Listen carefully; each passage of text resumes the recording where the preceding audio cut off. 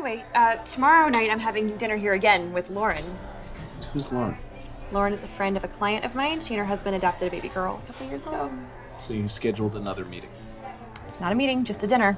Here, you're having dinner here two nights in a row. Yes. That doesn't seem ridiculous to you? Should have done it tonight, and where you could have gone back and forth, table to table, Mrs. Doubtfire style. I love that film. How is having dinner ridiculous? Dinner is not ridiculous. Scheduling webinars and meetings is ridiculous. And not inviting me is ridiculous. Why would I invite you? You want to wait. I would still like to be a part of the decision. You know what? Can we talk about this later? Yes, let's talk about something fun. Who watched Game of Thrones the other night? I missed it, and I lost mom's HBO Go password. It's just password. It's the same password as her Tinder profile. Her last date wouldn't stop talking about legalizing prostitution. Fine, I'll cancel the dinner. Thank you. In fact, let's just put the whole baby thing on pause. Um, I have to go to the bathroom. Edward? That's just social tension. Just wait a second, please. What do you want? I don't know. Okay, then it's on pause. Uh, please, Edward, I, I really have to go. Can you I can you don't move? want to disturb them.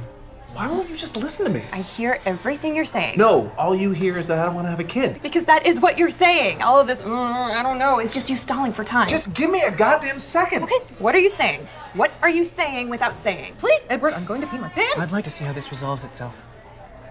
I want things to go back to the way they were, okay? I want it to go back to being just Michelle and Luke. And I don't want to have to think about how to have a family, and I don't want to think about uh, what lymph nodes are and how much aluminum is in your antiperspirant. I just want it to be us again. Because I'm telling you, the minute we bring a kid into this, you and I, we're gone forever. You done? Yes. Sorry, that is just how I feel. Okay. Luke, a kid is not going to be the end of us, but this bullshit might be.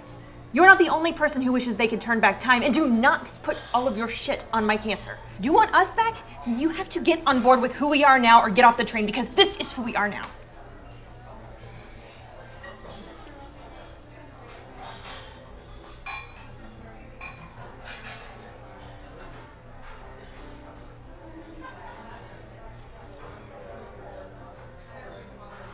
The tiramisu is gluten free. Read the fucking room, Edward.